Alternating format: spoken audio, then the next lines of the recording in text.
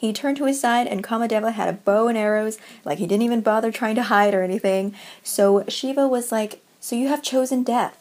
Hi, everybody, welcome back to my channel. My name is Liana if you're new, and welcome to episode 13 of Makeup and Mythology, a series I'm doing on my channel where I do my makeup and also tell you an ancient myth. Last time we covered Dewi Sri, the Indonesian goddess of rice and agricultural fertility, and how her body parts turned into very important crops for mankind. This week we are doing Kamadeva, the Hindu god of love and passion, the god who has said to awaken carnal desires in humans. So the word kama means sensual desire. I'm assuming this is the same kama in Kama Sutra. And deva means divine being. So divine being of sensual desire, god of sex. So just like Cupid, he has an arrow that he can shoot people with. Whoever is struck with his arrow is aroused with passion and love. So Kamadeva looks like a young man and has greenish skin, and his bow is made of sugar cane, and its string is made of a line of honeybees. You ever hear that phrase, you can catch flies with honey? I don't know, honey, sweet, something something. His arrows are made from five types of flowers, and he rides a green parrot. And he's oftentimes accompanied by his wife, Rati, the goddess of sexual desire, and he comes with the feeling of a gentle breeze and springtime. So, according to the Shiva Purana, one of the 18 major Puranas, which are a genre of Sanskrit texts in Hinduism, Kamadeva was born from Brahma's mind, Brahma being the creator god. So, Kama stood in front of his creator and was like, What is my purpose, father? Or, more accurately, he asked, Kam Darpayami, which means, Whom shall I please? And this particular question is something that he is rather famous for. Whom shall I please? So Brahma answered, You are assigned with the task of ensuring eternal creation and multiplying the population. Basically, you're going to make people horny with your flower arrows, and not even the other gods will be able to, you know, stop you. For there is no greater force than love and lust. One of the most famous Kamadeva stories is of when he disturbed Lord Shiva's meditation. So, Shiva is one of the three gods in what they call the Trimurti, the other two of which are Brahma and Vishnu. Shiva is considered the destroyer in the trio. I feel like if you're going to pick a god to mess with, you shouldn't pick the one that's named the destroyer, but okay. So, in the trio, they say that he's the god responsible for destroying the universe so that it can be rebuilt. Kind of like, you know, when you chop off all the branches of a rose bush so that it can you know start growing again. Or like when a phoenix rises from its ashes. So it's, it's kind of like that i think. So you know he's very big very powerful. And what had happened was that shiva's consort sati engulfed herself in flames and killed herself because her father, Daksha, insulted Shiva. A little bit drastic, just a little bit drastic. She could have just been like, shut up, dad, I don't care about your opinion. But I guess entering into fire is fine too. So yeah, Shiva was obviously really upset because his consort just died and he abandoned his duties and decided to meditate and brood and be angsty, which, you know, understandable. So this led to a destructive imbalance in the world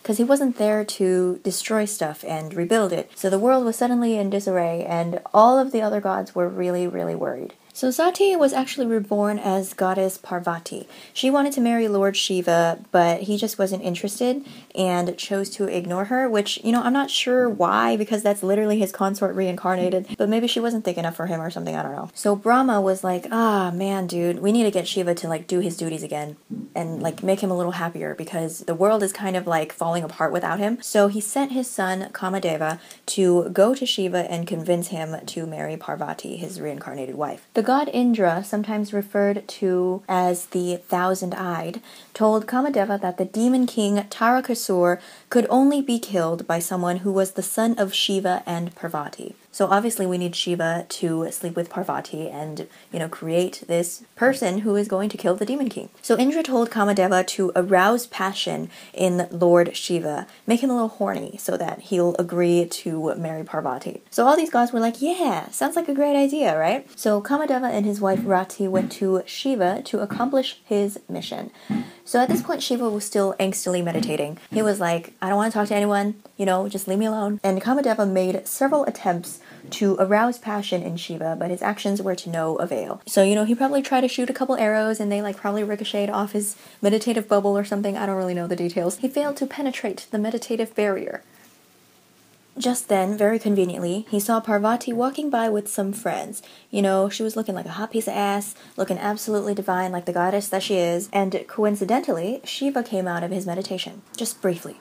just briefly. And so Kamadeva saw an opportunity that he should not miss, and he took it. So Kamadeva struck the Lord with his arrow, and it went in deep. And Lord Shiva was struck by Parvati's beauty, and he became really just fucking horny, I guess. So as we know, human guys can only use one head at a time, but Shiva could use both because he was god. And his head up here was like, hold on, wait a damn minute. I don't like Parvati. And then he realized that something was up, something was off. Something was suspicious. And so he realized that this was Kamadeva, and lo and behold, he turned to his side and Kamadeva had a bow and arrows, like he didn't even bother trying to hide or anything. So Shiva was like, So you have chosen death. And his third eye opened and Kamadeva was reduced to ashes. So Parvati was like, Oh my god, he's a murderer. Ew, I don't like him anymore. Which is understandable. So Parvati went back home and Kamadeva's wife Rati wept inconsolably. And at this point, the other gods arrived on the scene just to see what happened, and there they found Kamadeva's ashes and Rati crying beside them. And basically, they were just like, oh, shit. And then they reassured Rati that Kamadeva would become alive again. So they visited Shiva and they explained to him that it wasn't Kamadeva's fault, and they explained to him how if he mated with Parvati, then their spawn would be able to kill Tarakasur, the demon king. Which I don't really know why they didn't just like tell him that in the first place. I'm sure he would have like accepted that as his duty. Maybe Kamadeva wouldn't have had to die that way. But you know what? Let's continue. Let's continue to see what happens. The gods were like, please, please bring him back to life.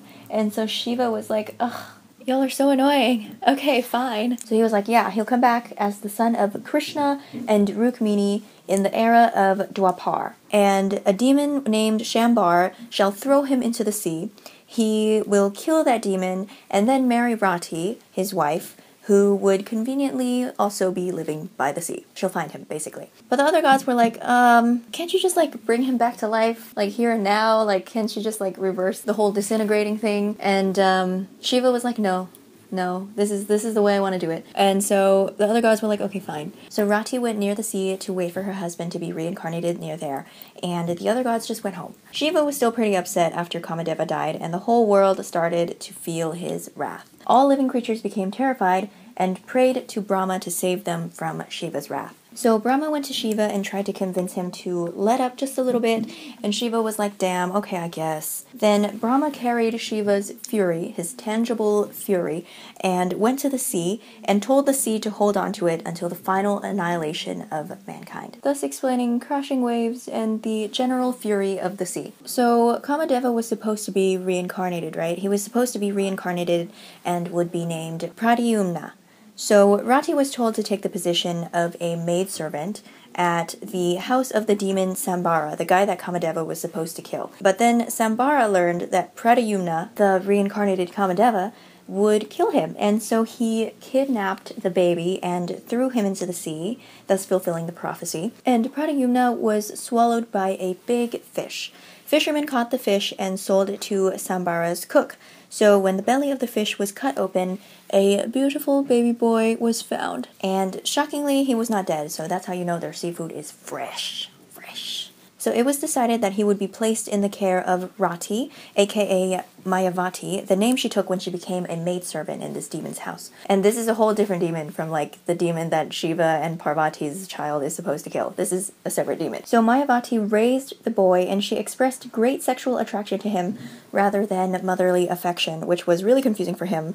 And the boy was like, Mother, why do you express feelings that are not befitting a mother? And she was like, Oh, so, you know, it's not actually gross because you're not my son.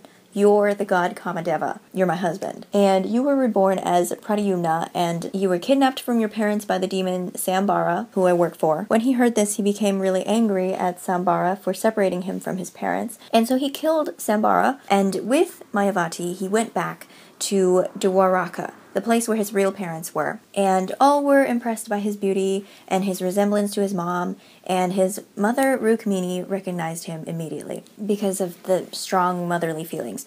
And they lived happily ever after. My guess is that after Mayavati and Pradyumna grew old and died, they were allowed to return to their you know, divine selves. And Kamadeva's time on the human world was probably like a punishment for him. I know this whole like reincarnating as a human and um, you know suffering on the mortal realm for a while thing is kind of common, especially in East Asian mythology. So I'm guessing it also might be applicable here, but it is just a guess. But you know, if not, they still lived happily ever after.